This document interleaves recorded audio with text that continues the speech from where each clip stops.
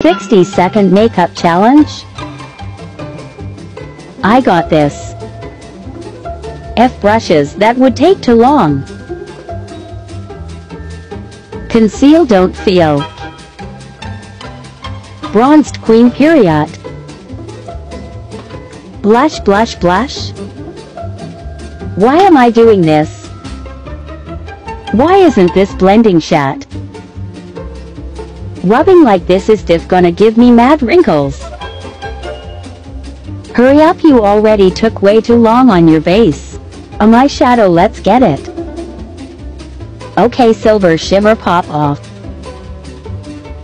Deeper shade in the outer corner. Yep, I just played myself sheesh. Lips aren't too shabby. Yeah, that's not where lashes go OOP, it's the thought that counts low.